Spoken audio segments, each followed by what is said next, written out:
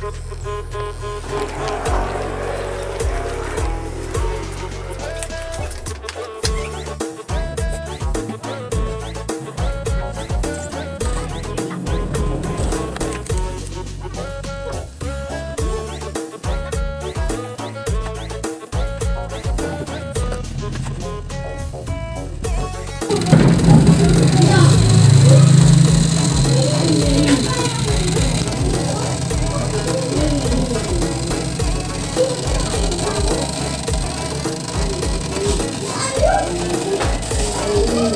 Ay, our DIY steam turbine is made of two-piece Mountain Dew in can, popsicle spoons, glue stick, and candle, and uh, and uh, sa gitna ng ballpen.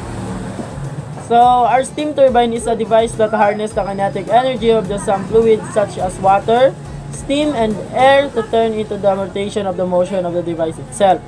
The importance of the steam turbine is the heat energy of the steam is converted into a mechanical energy by the steam turbine. The mechanical energy is converted to electric power by the generator. This efficient and environmentally friendly power plants will contribute to the consistent supply of electricity and reduction in the amount of the carbon dioxide emission. So let's continue and discuss more. Now, I'm gonna discuss how does steam turbine works. As you can see in our DIY steam turbine, a steam turbine heats water to extremely high temperature until it is transformed into heat using a heat sources. Usually, if you can visit the power plant, usually they use gas, coil, nuclear, or solar.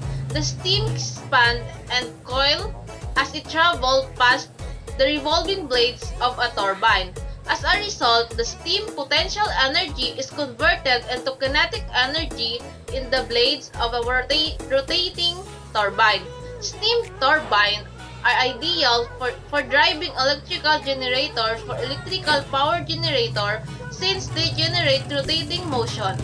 The turbine are coupled of an ax axle mounted generator which generate energy by a magnetic field